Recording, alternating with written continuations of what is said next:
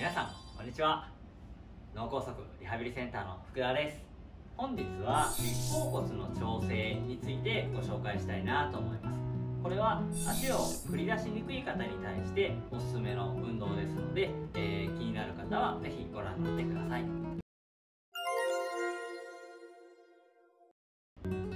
では早速説明に行くんですけれどもまず足の振り出しの話は他の動画でも紹介してるんですけれど足を出すための足の筋肉が必要っていうよりかはどちらかというとこの足を出す瞬間の支え足ですね。支え足が綺麗にできてて弓を引き絞るように力をためてその状態からふっと抜けて足が出るっていうのが重要だっていうお話他の動画でしました。で今日はその弓を引き絞る力をためてるフェーズですね。力をためてるために必要な足の調整についてご紹介したいと思います。で立方骨っていうのはどこにあるかっていうと足のここにあります。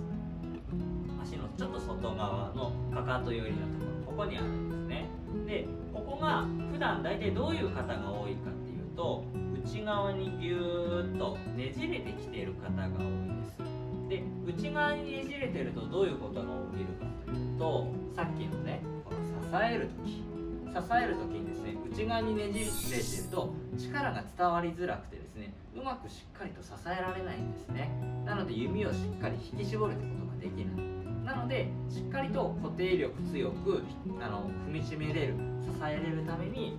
ちょっとこの内向きになっている部分を外向きに元の位置に直してしっかりとあの地面を捉えれるようにしようっていうところが今日の、えー、トレーニングの目的です。で早速やってみようと思うんですけれども、まあ、足をですねこうかけていただいてで足の裏ですね。足の裏の外側半分。で外側半分のエリアの足の土踏まずから後ろ側ですね。なので、まあ、4分の1にしたところの外側の後ろのエリアですね。この辺がポイントになってきます。でやる内容としてはもう単純にまずは中心から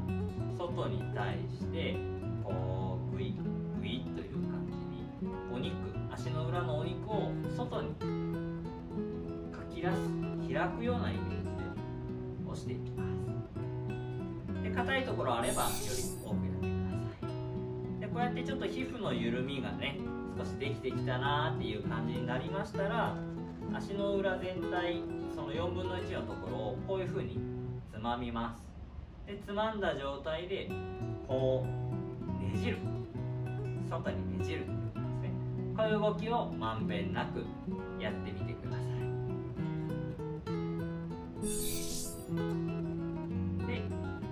ここが柔らかくなってくるとちょっと立方骨自体も外に開きやすくなりますので支えにも役立ってくるかなと思います。これをやった後にまああの後ろ足一歩下げた状態で体重乗せる練習とか他の動画でありますのでそれも合わせてやっていただくと効果的かなと思います。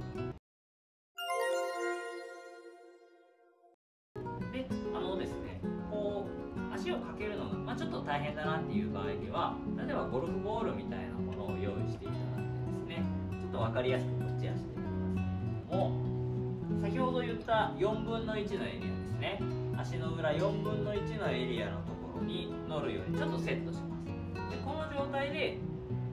まあ、手でもいいですし体を前に倒してでもいいですしちょっと体重をかけて